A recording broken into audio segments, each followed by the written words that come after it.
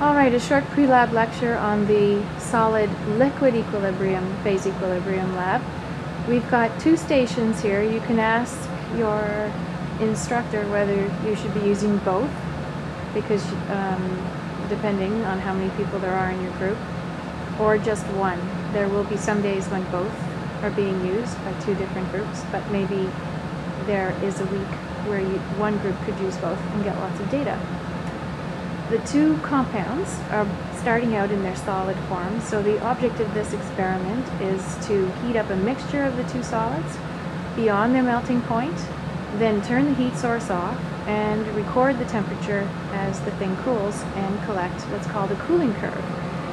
So the two, hood is kind of loud here, the two solids you're using are naphthalene and biphenyl, so there they are. Uh, the naphthalene especially is quite volatile as a solid. It's the stuff that mothballs are made out of, if you're familiar with that awful smell. So um, just be careful when you're in the balance room and going back and forth to the balance room to keep things covered so nobody gets a headache.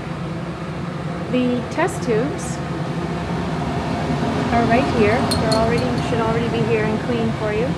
And into a single test tube you will uh, measure out a, uh, a mixture. So you can check your lab manual. I'm not sure if it tells you exactly how much of each compound to add to the test tube. Um, but what's important is that the total mass for each one of your samples is 5 grams. So you can decide perhaps what mass of biphenyl and what mass of naphthalene will go together to make a total mass of 5 grams. And um, I think probably fill up to about here on your test tube, but I'm guessing.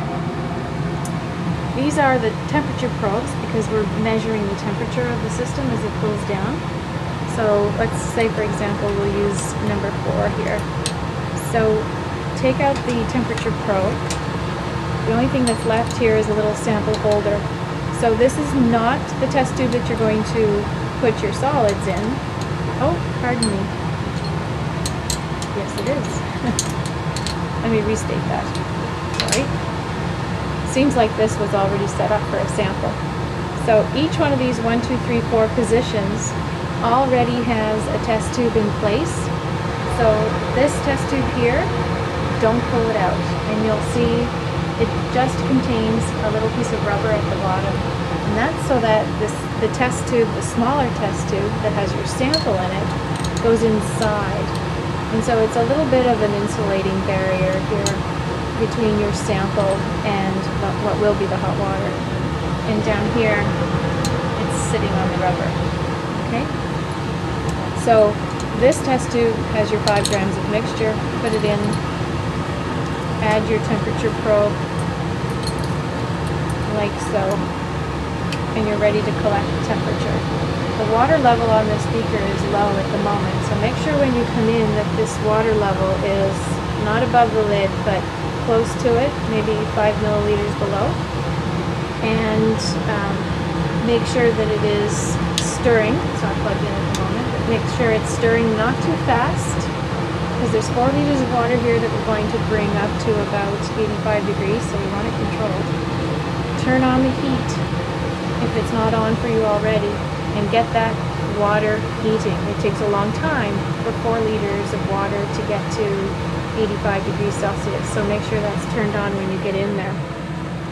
While that's heating up, and if you're using both, do both, while those baths are heating up, you can take your sample test tubes, go to the balance room, and get all of these things measured and labeled. When you come back, make sure you know which sample is in one, two, three, four on the left, and if you're using both, one, two, three, four on the right.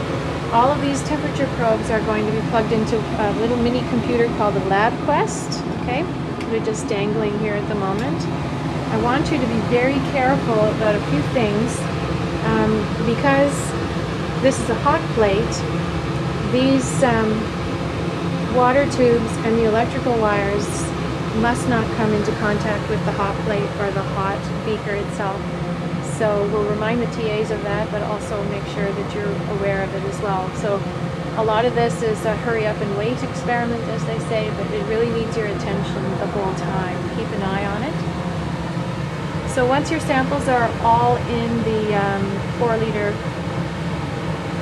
four liters of water, and the water is heated up to say 85 degrees, all of your mixtures should be one phase. They should all be melted. And so everything is above their melting temperature, okay? And you'll just go around and make sure that everything is clear. You'll call the TA over or the instructor over at that point and say, I want to stop heating. So we'll turn off the heater, but we keep the stir going at a nice slow rotating speed. And what we do is we turn on, um, we'll turn on the water to just a trickle, okay? And that cold water is going to go into your exchanger coil and help to cool down the four liters of water a little bit faster than it would if we just simply turn the heat off and left it because we want to make sure that you're done um, in reasonable time. Record, start your recording at that point once everything is, is melted. Start your LabQuest and record your cooling curves um, for your samples. And if you have access to the digital camera, then it would be a great idea to take a picture of your sample when it's completely melted and when it starts to crystallize. And I'm going to let you uh, discover what that looks like. I'm not going to spoil the surprise. okay, so keep those wires and water tubes away from the hot plate and make sure that water initially does not heat up to boiling because the lid is on.